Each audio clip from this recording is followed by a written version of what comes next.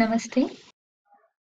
In the last video, we have seen about the place value of numbers up to 3 digits.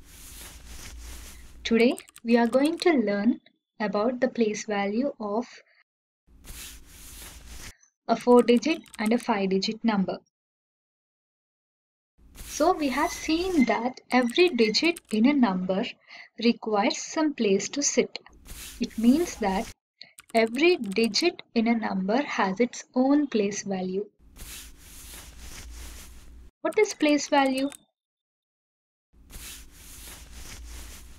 The place value of a number can be defined as the value of the digit in a number according to its position in the place value chart.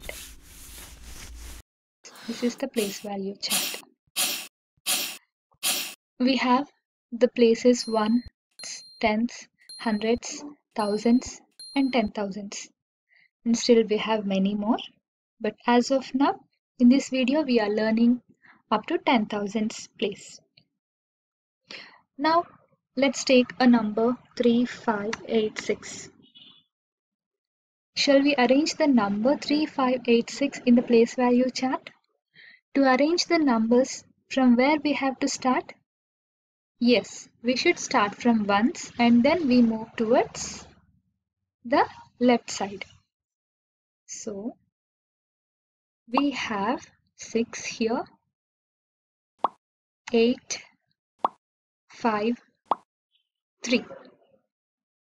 Now, let's find out the place value of each number.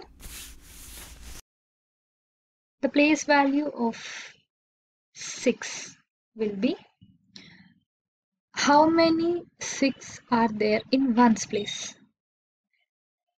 6 ones are there. 6 ones. That is 6. If we see the place value of 8. Now, 8 is in which place? 8 is in tens place. So, 8 in tens place. 8 tens. 8 tens is nothing but 80. Place value of 5. So, 5 is in which place? 5 is in hundreds place. 5 in hundreds place. It means that it is 5 hundredths. In the same way, we also find out place value of 3. Now, in thousands place, we are having 3. It means that 3 thousands. 3 into 1000 is nothing but 3000. So, this is how we find out the place value of each digit in a given number. If we want to find out the place value of a 5 digit number, let's see how it is. 30456. This is a 5 digit number and obviously we start from ones place. That is 6 here. Next comes 5. Next comes 4. Next comes 0. Next is 3. Place value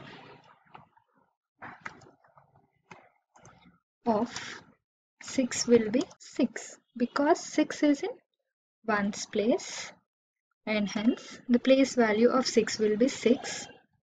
In the same way, place value of 5. 5 is in which place? 5 in tens place. 5 tens, 50. Place value of 4.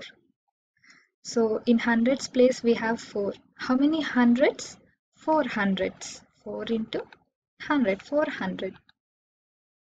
Similarly, place value of 0. 0. Just have a look here. We have 0 thousands. It means that we have nothing. No thousands actually. So whenever you get, you have to find out the place value of 0.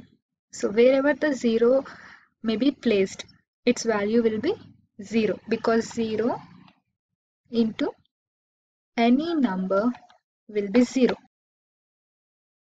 place value of 3 if we see 3 3 is in which place? 10 thousands place. So 3 ten thousands is nothing but 30,000 therefore the place value of 3 will be 30,000 in this way, we find out the place value of any number by placing them in the place value chart. But always keep in mind that whenever you get a zero, the place value of that particular digit will always be zero.